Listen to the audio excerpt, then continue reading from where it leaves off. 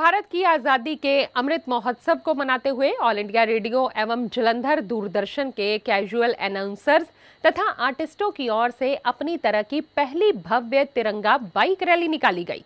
इस रैली को Jalandhar radio station के सबसे पुराने कैजुअल अनाउंसर विनोद चड्डा और अश्विनी जी ने तिरंगा झंडा दिखाकर जलंधर रेडियो स्टेशन के गेट से रवाना किया।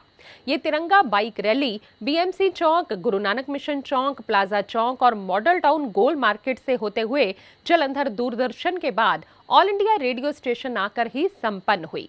रैली का उद्देश्य जन साधारण में देश के प्रति ईमानदारी, अनुशासन और प्यार को जागृत करना था।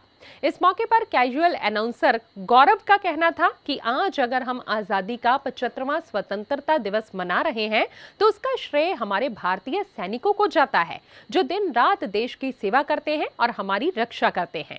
इस मौके पर सभी ने देशभक्ति के गीत गाकर हर्षोल्लास के साथ ये दिन मनाया।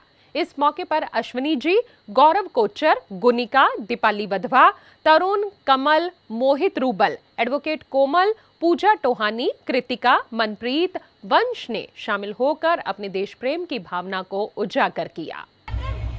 भारत माता की, भारत माता की, वंदे वंदे।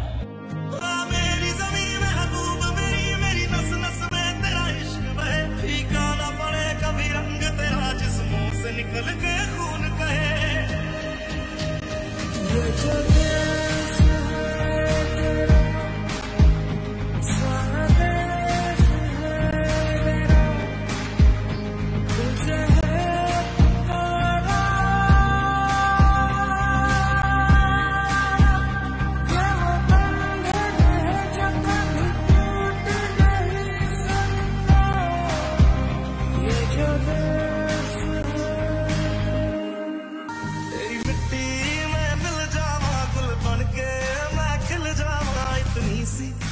दिल की आरज़ू।